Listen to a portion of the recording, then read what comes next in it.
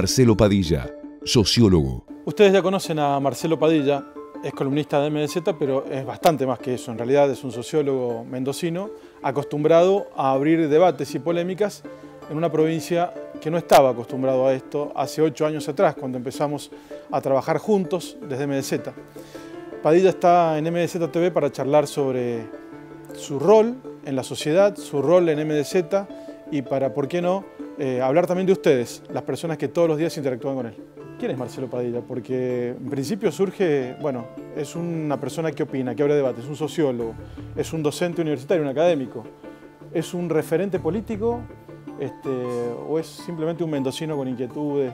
¿Quién sos? Soy un sanjuanino eh, emigrado, si emigrado eh, a los siete años y agradecido de esta, esta tierra, a la que, pero con una sociedad muy jodida. Y ahí, digamos, ahí me muevo. ¿Quién soy? No sé, un tipo que, que intenta dar una mirada eh, honesta eh, a veces zarpada, a veces eh, extremista, eh, pero sensible a, los problemas de, los que siempre quedan afuera, por, más que digamos, mi, definición política sea el peronismo y el apoyo indeclinable a este proyecto nacional y popular en estos 12 años, siempre siempre miro lo que queda afuera, y porque me duele lo que queda afuera. Eh, bueno, ha sido, lo, decís vos y en tus columnas queda muy claro, un fuerte respaldo, inclusive le pones sustancia a lo que ha sido el, modelo del kirchnerismo. ¿no? Eh, sin embargo, ahora también apareces eh, definiendo tu, tu, voto por Daniel Scioli, que su origen es bastante, bastante diferente al del kirchnerismo, en principio. Vos te vas adaptando te convencen o realmente venís con un convencimiento propio en torno a lo que es Scioli dentro de este modelo? No, yo, tengo una lectura que voy, digamos, primero tengo una lectura eh, sobre, desde una mirada teórica también de cómo interpretar, eh, digamos, la política y sobre todo en la historia de los movimientos populares. Y creo que eh, no, uno, no puede dejar de analizar a, digamos, a una figura, a una persona, a un individuo, eh, solamente por su origen, o sea, o, ubicarlo en su origen.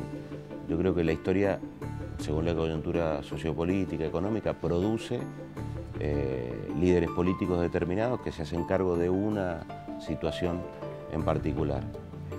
Menem fue uno, eh, y eh, fue el representante, digamos, desde el peronismo en llevar el país, eh, digamos, a un neoliberalismo salvaje y todas las consecuencias que tuvimos.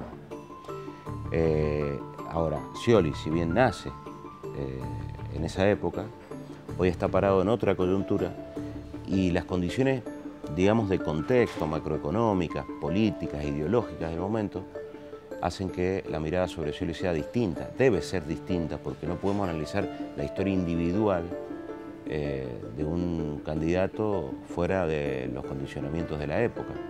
Entonces, hoy Scioli no es el Scioli que quizá eh, muchos opositores y medios opositores intentan buscar en el archivo.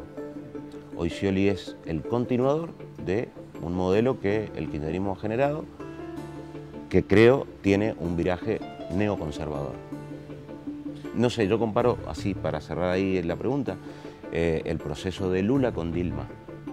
Digamos, creo que el kirchnerismo eh, en eso puede llegar a parecérsele, salvando muchas diferencias, eh, entre lo que es Lula y, Dilma Rousseff.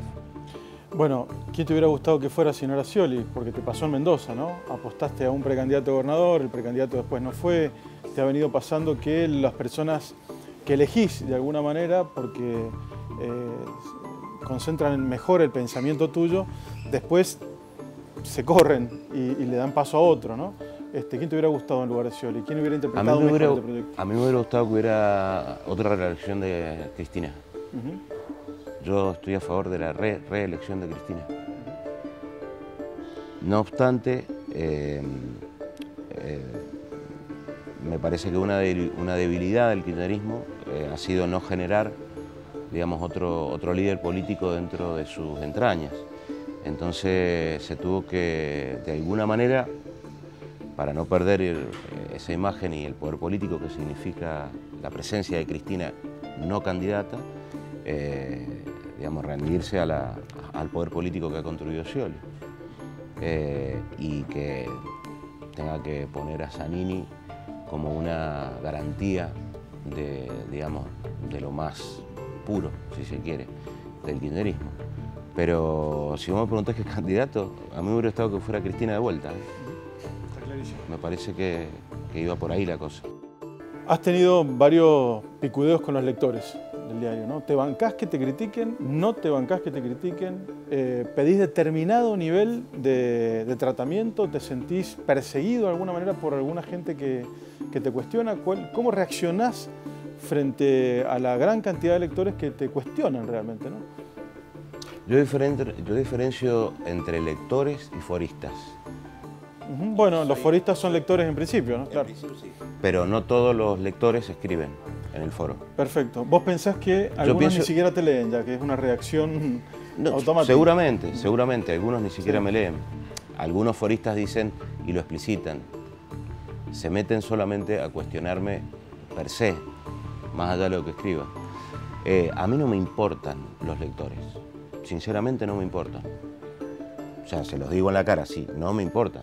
Yo escribo, escribo mi posición. Sí, pero te enojas O sea, con ellos y después le contestás. Por supuesto, porque la reacción, eh, por, digamos, desde posiciones eh, que, que son de ultraderecha, que son de ultraderecha, dejan evidenciado que hay, digamos, hay en la sociedad, digamos, un, un sector importante en esta sociedad mendocina que- que siempre está queriendo ser una Suiza eh, esa Suiza de que habló el Pilo Bordón, eh, eh, bueno, los mendocinos muchos se la creen.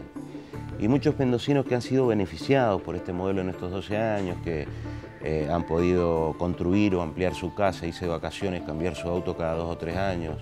Me parece que el mendocino, digamos, no me gusta hablar de esencias, pero en gran parte muchos mendocinos, muchos mendocinos son muy desagradecidos porque cuando se, digamos, tienen ascenso y movilidad social en lo económico y cultural, eh, se lo adjudican solo el esfuerzo individual. Y cuando hay crisis, eh, acusan al Estado y al gobierno de turno.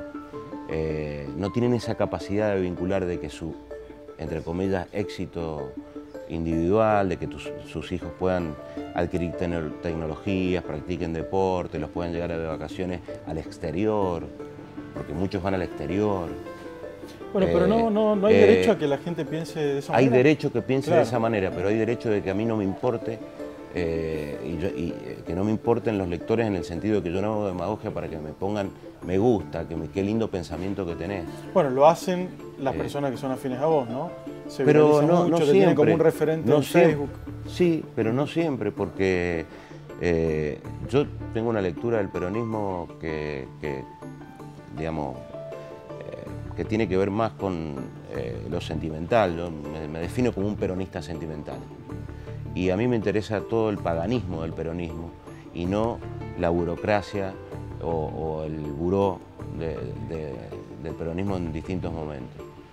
Eh, y en eso yo he sido crítico también, que muchos creen que no, pero yo he sido crítico, he sido crítico de Paco Pérez, he sido crítico hasta de la misma Cristina, he sido crítico del peronismo más purista de la Cámpora o de Guillermo Carmona. eh, y también he sido crítico de la corriente y he responsabilizado a la corriente de la derrota como una variable para pensar la derrota, digo, no totalmente. Y he tenido muchos quilombos por eso. O sea, a mí no me ponen, digamos, yo no soy así un peronista que todos los peronistas eh, se referencian en mis columnas. Algunos, eh, digamos, están de acuerdo con, con una, con una toma de posición en una coyuntura determinada y, otros me putean. Y me han puteado mucho, muchos peronistas me han puteado mucho. Pero no obstante, son compañeros. Recogiste tus columnas en, un libro hace un tiempo atrás, eh, las columnas de MDZ, pero vos no parás nunca de escribir. Es decir, la sensación que uno tiene siguiéndote en las redes, en el diario o en donde sea, es que tenés una, gran pasión por, contar lo que pensás eh, en forma escrita, ¿no? Avanzás con un nuevo libro, en este caso que no tiene nada que ver con la opinión y con el ensayo, o una opinión desde otro punto de vista, ¿no? Sí, yo, sabes, Gabo, que escribo por necesidad. Es una necesidad, ya es una necesidad vital. Em, y al margen de las columnas, eh, hace tiempo ya escribo literatura, digamos, específicamente. Y sí, ahora, ahora estoy ahí sacando un libro de poesía eh, que se llama Poemas Peronistas, que no hablan de un peronismo que yo digamos, que, llevo adentro, que tiene que ver con, esa transmisión que mi abuela en San Juan eh, me, dio. y, que es... Que no es lírico, no es épico, ¿por dónde viene? Es pagano, es pagano. Eh, para mí el peronismo es una religión pagana que siempre estuvo en contradicción con la religión de Estado. Eh, yo me quedo en ese paganismo peronismo, eh, peronista y bueno, y termino siendo medio anarco dentro del peronismo, o por fuera del peronismo, o periféricamente del peronismo. Pero bueno, ahora en septiembre lo voy a presentar y lo voy a presentar no solo como un libro de, poemas y de literatura, sino que lo voy a presentar como un libro militante. Lo voy a presentar en los departamentos. ¿Un sacerdote de ese peronismo pagano? No, jamás la palabra sacerdote. Jamás la palabra sacerdote. En todo caso, un miembro más de la gleba eh, que, eh, que me toca decir cosas y y algunos se sienten interpelados, pero mm, no, no, jamás sacerdote. Gracias, Marcelo. No, al contrario, gracias, abogado.